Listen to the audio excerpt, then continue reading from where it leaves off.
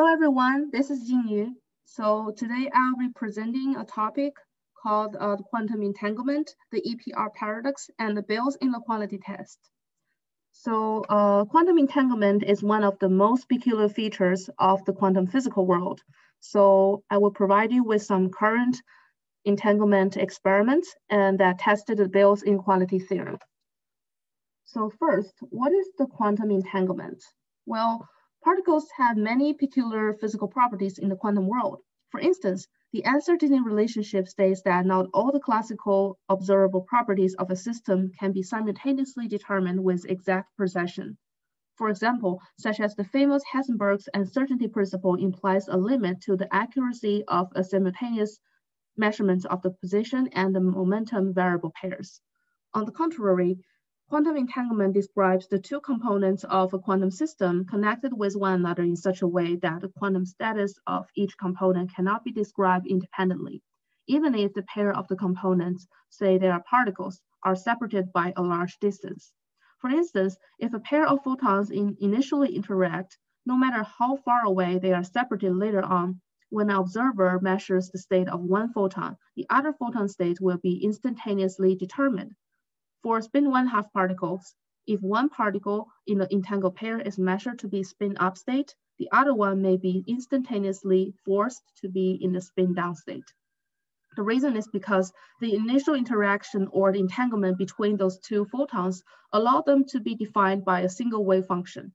Once they are separated later, they will still share the same wave function. Einstein described the quantum entanglement as the spooky action due to the strange behavior. In 1935, three physicists, Einstein, Podolsky, and Rosen, published a paper titled Can Quantum Mechanical Description of Physical Reality Be Considered Complete? and introduced a thought experiment to argue that the quantum explanation of entanglement was an incomplete theory. Based on quantum entanglement theory, it is said that the result of a measurement of one particle of entangled pair system can have an instantaneous effect on another particle, regardless of the distance between the two particles. The EPR paradox described, quote, either the quantum mechanical description of the reality given by a wave function is not complete, or when the operators corresponding to two physical to two physical quantities do not commute. The two quantities cannot have cannot have the simultaneous reality. Therefore, the EPR paradox considers quantum theory as an incomplete theory. It is important to notice that Einstein and his colleagues were not against the quantum theory, but to demonstrate the innate conceptual difficulties of the quantum theory. So to the question, can quantum mechanical description of physical reality be considered complete? Einstein's answer was clearly negative. As a solution to the paradox, Einstein postulates the existence of the hidden variables, as yet unknown hidden as yet unknown local properties of the system which could account for the disparity, discre uh, sorry, discre discrepancy, so that no instantaneous spooky action would be necessary. This is known as the local realism or element of reality, which refers which, which reflects Einstein's deterministic view of the world. EPR paradox describes the principle of locality as asserting the that physical processes occurring at one place should have no immediate effect on the elements of reality at another location. The implication of the EPR paper is to illustrate how quantum physics is not the same as classical physics, which helps deeper our understanding of non-classical characteristics of the quantum of the quantum world. So in 1964, a physicist named John Bell published a paper titled On the Einstein-Podolsky-Rosen Paradox as a response to the EPR paradox. He pointed out an alternative theory based on the EPR's locality principle that actually yields a testable inequality that differs from predictions of quantum mechanics. Bell proved that Einstein's point of view, or local realism, leads to algebraic predictions. His work translated Einstein's philosophical position of the realism and locality into a precise mathematical description. In the Stern-Gerlach experiments, let's consider an experiment in which A and B arrange their SGVs at random along the axis A, B, and C, making measurements of the spin of particles along this axis. In order to conserve the angular momentum, for instance, if particle one is in the type plus A minus C plus, uh, plus A minus B plus C, then particle two must have the type minus A plus B minus C, so that if A find particle one to have the spin up or down along the same axis, B find particle two to have its spin oppositely directed along the same axis. As a result, there are in total eight combinations that the two particle can emit in the decay of a spin zero particle, which is shown in this chart here. So to match the result of the Stern-Gerlach experiment, we'll find that the EPR's hidden variable theory must satisfy this inequality theory, inequality equation uh, in this orange box. So in order to test uh, this inequality, A and B must make measurements to determine the three probabilities. First, A's SG device is oriented along A, while B's fixed along the B axis, and measurements are made to determine the probability of plus A plus B. A and B then go to measure the probability of plus A plus C and plus C plus B to see this if the inequality is satisfied. So the inequality is in the form that is easy to compare the predictions of the quantum mechanics. If quantum mechanics is, is correct and Bell's inequality is violated, no local hidden variable theory can be valid. Now, let me introduce you to the idea behind the Bell test, as well as some interesting experimental results uh, the Bell's inequality theorem. So recall that Bell proved that uh, the quantum mechanics is incompatible with Einstein's local realism, right? Bell tests are experiments that are designed to test whether or not the real world satisfies the local realism. An experimenter produces a pair of entangled pairs, uh, entangled particles, and send them to two separated measurement stations. Two observers, Alice and Bob, stay in each station. Alice and Bob uh, are in charge of making simultaneous and predictable measurements on each particle. Quantum mechanics predicts that the measurements Alice makes will instantaneously influence Bob's particle and vice versa, whereas the local realism predicts that this influence cannot happen and Alice and Bob's measurements should not agree with each other. Following the idea that Bell's inequality is testable, many scientists have designed different kinds of experiments to test whether Einstein's hidden variable theory or the quantum world is correct. Many types of Bell tests have been performed in the physical laboratories since 1970s.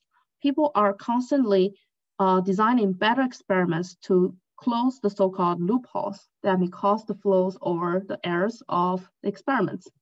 Such loopholes may be, uh, may be from the design or the setup of experiments, or if the observers indeed have the free will to ensure the unpredictability of Bell tests. The freedom of choice loophole refers to the idea that experimenters have total freedom in choosing their experimental sets, from the types of particles to the measurements they choose. One of the most famous experiments is the, Bell uh, is the cosmic Bell test, in 2014, scientists proposed experiments using the Asian photon from astronomical sources, such as stars, as random number generators, uh, rather than the generators on Earth. Here, the left picture shows you that researchers set up the telescope at three detector stations uh, and detect the photons from the stars. The stars are anywhere from dozens to billions of light years away from the Earth. Thus, if some hidden variable were to interfere with the randomness of the choice of measurements, they would have to set those up before the time that light that light left the cosmic sources and reached Earth. So it which is impossible. In a few microseconds before an entangled stellar photon arrived at the detector, the researchers used each telescope to rapidly measure the property of an incoming stellar photon to see whether its wavelength was red or blue. So the red refers to, uh, the red photon refers to the detector measured and entangled photon's polarization in a particular direction, whereas the blue photon measured the polarization of entangled particle along a different direction. As a result, the researchers measured about 100,000 pairs of entangled stellar photons and find that the polarization measurements of the photon pairs were highly correlated. This result showed consistency with the quantum entanglement and violated Bell's inequality theorem.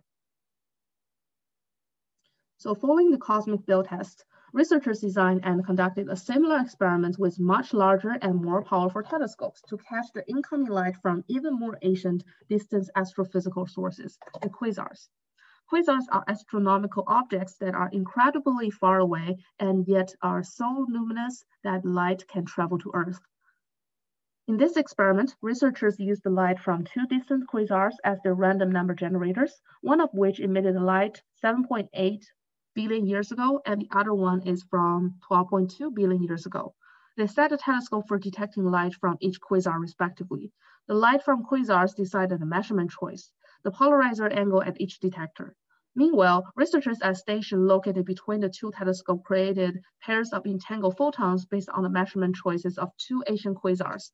As a result, they measured more than 30,000 pairs of photons and find strong entangled correlations among them to a degree that far exceed the limit of Bell's original calculation predicted. Once again, the hidden variable theory is disapproved by the experimental results. Then I would like to introduce you with another very interesting Bell test called the Big Bell test in, 2006, uh, in 2016. The Big Bell test is a worldwide project using video game to bring human unpredictability or human randomness to cutting edge physics, uh, cutting edge physics experiments. In 2016, over 100,000 volunteers participated in an online video game that used the random human choices to produce the data for researchers conducting multiple independent tests across the globe. On November 30th, um, so on November 30th, 2016, during a 12-hour period, the participants worldwide provided a sustained data flow of over a thousand beats per second to a Big Bell test experiments. The participant generated in total 97,347,490 uh, binaries choices in the usage of 13 independent experiments that tested the local realism using photons, single atoms, atomic assemblies, and superconducting devices. This video game method provides rapid collections of human-generated randomness. As a result, most experiments observed a statistically strong violation of the respective inequalities, supporting the rejections of local realism in a multitude of systems and scenarios. Until today, there have been many experiments that are followed by the Bell's inequality theorem. Those experiments are designed to test whether Einstein's hidden variable theory is correct or not. As for now, all of the experiments have found that the hypothesis of hidden variable theory is inconsistent with the way that the physical system behave. Very likely, Einstein was wrong in this case. So you may want to ask a question like, why does the weird quantum entanglement exist? Well, no one actually knows, but scientists have provided many cool hypotheses. One of them is called a cosmic hologram, which follows the idea that since two entangled particles can instantaneously communicate with each other regardless of the large distance among them, they can, uh, then we can probably say that the space between them somehow do not exist. So following that idea, we're probably living in a 3D holographic world that is projected by the 2D world, like this picture shows you. This idea may sound crazy for you, as me, uh, for me as well, but I find it's kind of intriguing. And here's a book you may want to read and get more knowledge about that, which is called The Cosmic Hologram by Judy Currivan. Lastly, I just want to briefly mention about how the topic of quantum entanglement may be significant. Well, an experiment, uh, the experiments conducted so far show the violation of Bell's inequality theorem, which confirms that a pair of entangled particles separated by large distance must be considered a single non-separable object. In other words, it's impossible to assign local realism to each particle separately. Today, quantum entanglement forms a basis of several cutting edge technologies. So here I give you two examples of applications. First one is the quantum cryptography. Entangled qubits are used to transmit uh, in signals that cannot be intercepted by the third person. Unlike mathematical encryption, quantum, uh, quantum cryptography uh, uses the principle of quantum mechanics to encrypt data and make it virtually unhackable.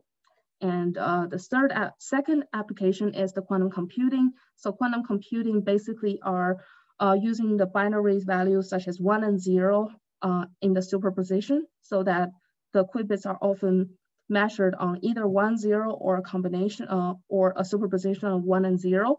In that sense, quantum computing can greatly enhance the big data processing. To sum up, quantum entanglement is, a growing, is growing to become a subfield of quantum mechanics due to its wide application and profound implication for modern cosmology and even philosophy. Here is a reference, and thank you so much for listening to my presentation.